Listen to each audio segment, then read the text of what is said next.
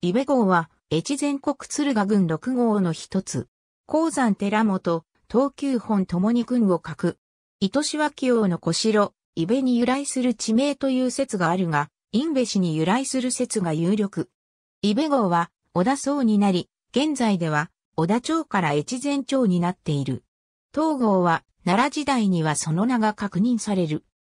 天平神後2年越前国司会によれば、堺郡、民谷村の西北二条六族生田里十二坪に、区分殿を持つ農民として、鶴賀郡、伊部郷古種である、橋人石章や新碑、狭山の名が見える。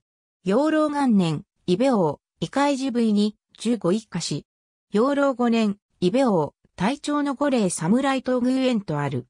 この日、首巫女の教育のため、採用ほか14人等が、東宮に施行が命ぜられている。他にも、王は、東大寺の教本の書写などにも携わっている。天平法寺三年筑紫の完全音自文書に、聖六位上皇大典イベ作りネマロとあり、18以上、ぬか食べの連、小六くらい上中富の阿孫と名を連ねているのが見える。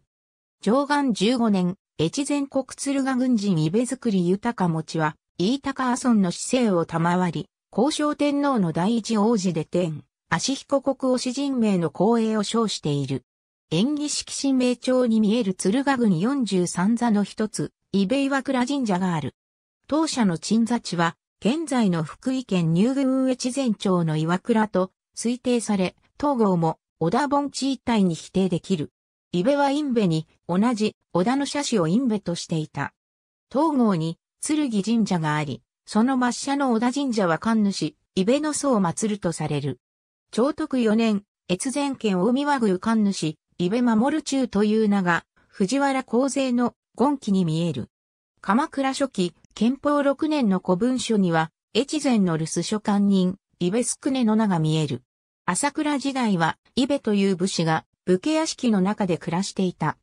近年、越前一条、国城跡にある、朝倉吉影館の対岸の武家屋敷からは大量の遺物と家と記された木簡が出土した。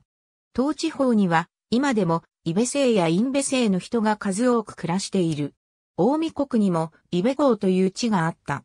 東野在軍師諸州大浦共有、大般若教奥垣に、方言3年3月12日に、お浅井郡保証寺古章、伊部郷桃津寺、書者の助言との記述がある。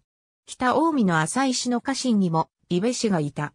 おそらく古代から連綿と繋がっていたのだと思われる。ありがとうございます。